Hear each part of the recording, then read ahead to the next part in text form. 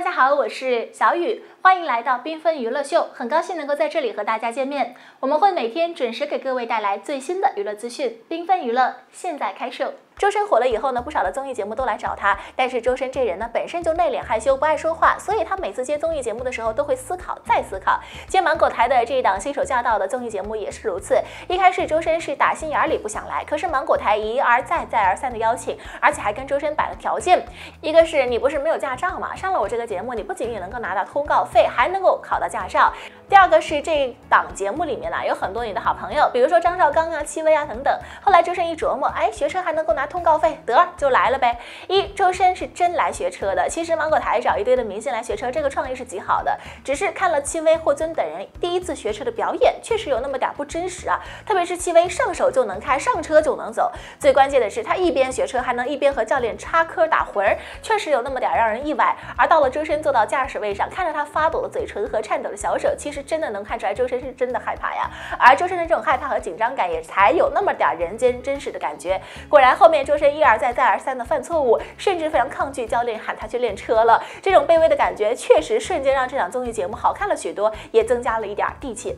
只是在外人看来，可能周深这种表演是综艺效果。可是，只有真正对车有恐惧、真正对练车有阴影的人才知道，周深这哪里是综艺效果呀？看他那颤抖的小手，其实就知道他是真的怕车，而且是被逼着来学车的啊！戚他们就是来真的来做综艺节目的。其实呢，这些年戚薇的主业就是带着老公一起参加综艺节目嘛。而到了这一档新手驾到，其实也是一样的。戚薇等人的综艺表现可以说是满分，特别是考科目二的时候，其实我们可以明显的看出来，手动挡的人都在演。比如说霍尊的半坡起步，明明学车的基础就是要离合要踩到底，而且新手驾到的教练车可是最好的新车呀，轻轻松松就能踩动的离合。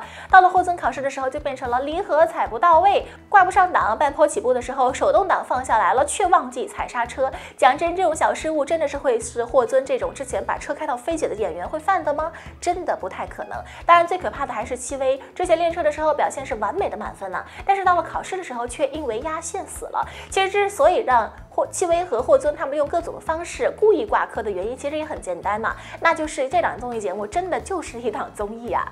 三一心只想赚钱的周深，其实这一年多来呢，周深确实参加了不少的综艺节目，于是网上就出现了很多人批评周深不务正业，开始转型做综艺咖赚快钱了。其实背后的事实并不是如此。周深这一年多来呢，之所以拼命的接综艺，一来肯定是为了增加曝光度吧，对吧？吸引更多的粉丝；二来呢，是他新成立工作室，刚刚做了老板，需要养活一大家子人呢。至于周深来参加新手驾到的原因，其实开篇已经说过了，他是真的来学车的。就像新手驾到的第一期，所有人都在嘲笑周深胆子小，不适合开车，但是谁能够想得到，最后周深却是学的最好的，第一个通过科目二考试的人。做就要做到最好，不管是音乐路还是综艺路，周深一直都在践行这个承诺，而这也是为什么会有这么多人喜欢他的原因了。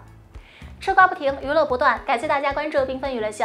如果您喜欢我们的频道，请您给出宝贵的赞，并且记得订阅我们，同时啊，不要忘记了点亮订阅右边的小铃铛，这样就可以在第一时间收到我们的频道内容了。我们下期节目再见吧，拜拜。